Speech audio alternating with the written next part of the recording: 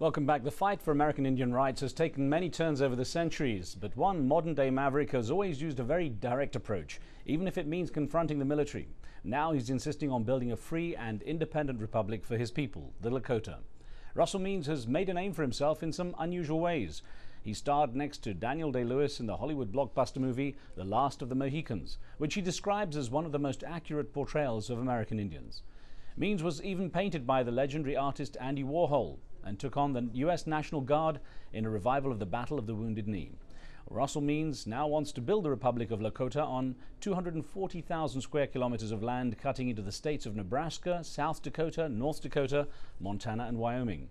Russell Means is seeking investment and international recognition for his republic and says it will be tax free and based on a matriarchal political system.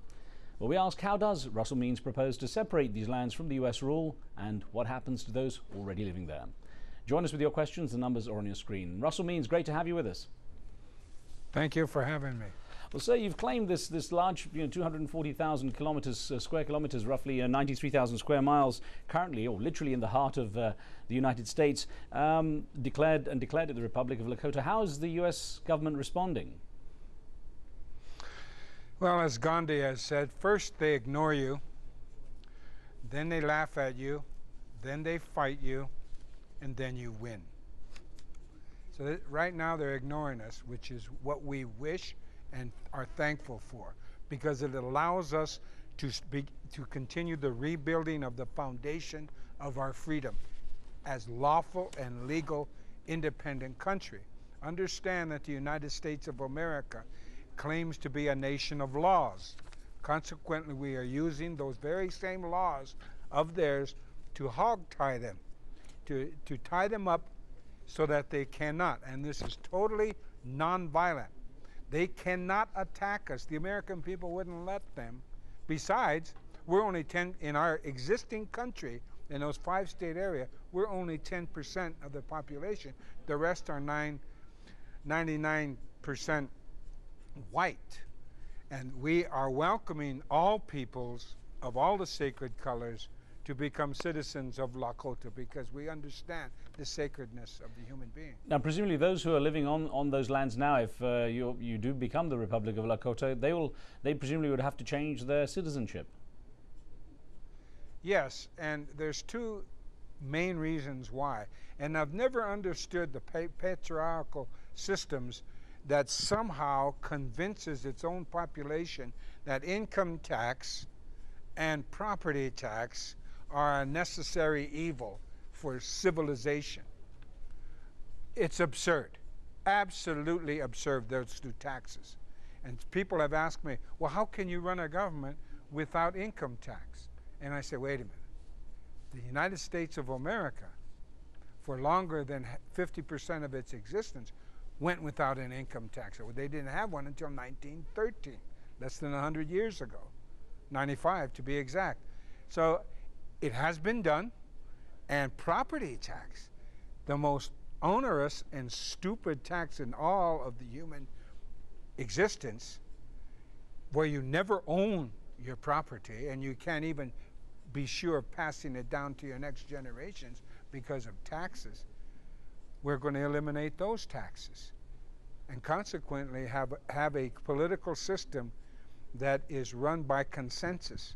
Because having two major political parties in an alleged republic that guarantees you individual rights, it's impossible.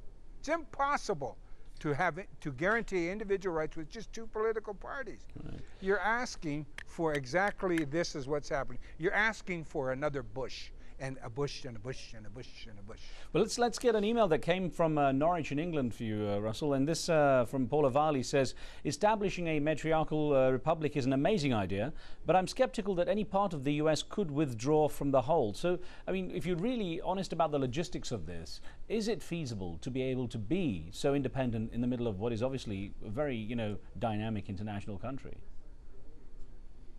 As I stated, it's very feasible because it's lawful. And not only nationally, according to the Constitution of the United States, but to the law of treaties, which every country is a signatory to. And uh, we withdrew from our treaties unilaterally, which puts us in the the legal and lawful framework of free and independent. Now, we understand the processes of becoming recognized, and we're working on that. We have four strategies economic, political, health, and education. Those are our four main strategies towards the rebuilding of our nationhood. Let, let, me ask you about the uh, this kind of support you have from uh, other American Indians. Um, I gather the Lakota tribe itself, your tribe, hasn't fully sanctioned this. That's the colonial apparatus. Listen, there are two regimes that follow the example of Indian policies of the United States of America.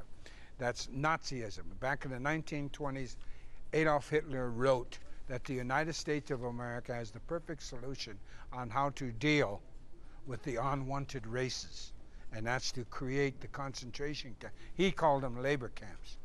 Like the reservation system of America. Consequently, the uh, genocide against gypsies and Jewish people, and homosexuals, et all happened during World War II. That country is no longer in existence because of that policy. And then there was apartheid in South Africa. There's the West Bank in Israel. Carbon copies of the reservation system. Now, the apartheid system is gone, but you still have apartheid in South in, in America. And yet no one focuses on that. And because America backs the apartheid system in the West Bank, that place is tied up. So consequently, what we are saying and what the American people are sympathetic to as well as my own is the fact that legally and lawfully, I'm going to keep hammering that home, is that we are free and independent. Okay. And we have the general support not only of the American people and my own people, but also worldwide. And I want to say this in the history of patriarchy, never has an empire been defeated from without. It's always fomented its own destruction from within. Russell, we had a we had an email. Republic of Lakota. Well, sir, you know, we had an email that came in from New Zealand. Zelina from New Zealand, uh, who also guys, goes by the name Magpie Woman, wrote in saying, I doubt that the US will ever let the Lakota withdraw. If they cannot return their native lands, then appropriate compensation should be paid out to the generations. They should come uh, to talk to New Zealand's Maoris. Now, uh, could, could, I mean, do you see some sort of solution of uh, financial compensation if you can't reach agreement on actually taking the land? Of course not. That is not our concerned, The reason we have become free and independent again is because of the genocidal practices of the United States government, which are ongoing. The average Lakota speaker's age of a fluent Lakota speaker is 65 years of age. We're on the cusp of becoming extinct because once we lose our language, we lose our worldview. We lose, we lose the taste out of our mouths as an African woman in the east coast of the United States stated about what slavery did to them. And we lose the essence, our worldview. So we cannot lose our language. Our, our, the, the life expectancy of our men is the lowest in the world, 43.9 years. The women life expectancy is 52 years. So that's of the Lakota, my people. We cannot continue. We have no place to live. Money you can burn with the nod of a buffalo's head. The land is forever.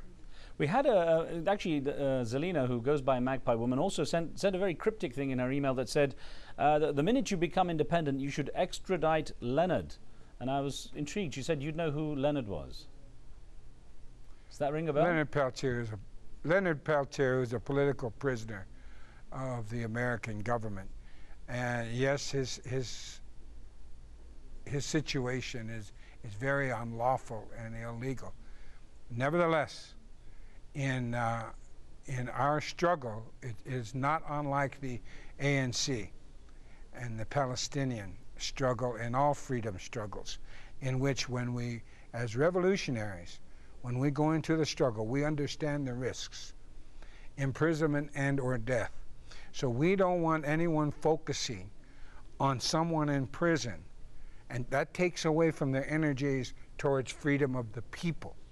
Okay. And that's what this revolution is all about. One revolution, we return to what we were free and independent with our languages and with our health intact, Russell, along with our land. Patrick's on the line from the UK. Let's squeeze him in with a question here. Patrick, your question for Russell Means, please. Oh, yeah, thank you, Riz Khan, Hi. for this. Thank you very much for this opportunity given to me to express myself. Ahead. I'm calling from England, but I'm an African. Okay. I would like to share these views of the speakers in Denver that he did mention about apartheid in South Africa. I was in South Africa, I work in South Africa, and the whole African continent is sharing the same pains they are going through. The, what he speaks, what he's saying actually right now on air, is the reality of what we are living in Africa. What can really be done to safeguard the total integrity of African people, the total sovereignty of African people? Because apparently we look free, but in reality we are still colonies. What So- can you help? Okay. Uh, So do, you, do you see a, a uh, Russell? Do you see a parallel that, that might be applied once you know once your action is taken here that might actually help Africans? Because Patrick sees a parallel with the African people and the Lakota people. As well, all indigenous people, I believe the entire world should return to a matriarchal system, which is a balanced system. But more importantly, you should, when you decolonize oneself, you have to get rid of those mag- imaginary lines that the colonists left, because that's what divides you. You know, you don't have respect for your relatives' visions in your own country.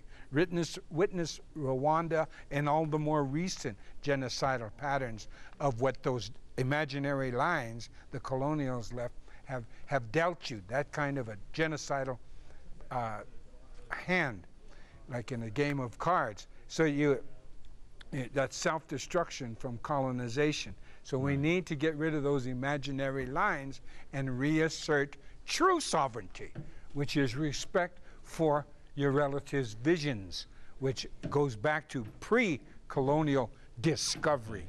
Well, Russell, you know we, we, barely had a chance to touch on your uh, very colourful life. I hope we get a chance to chat with you again. Thank you so much for being with us.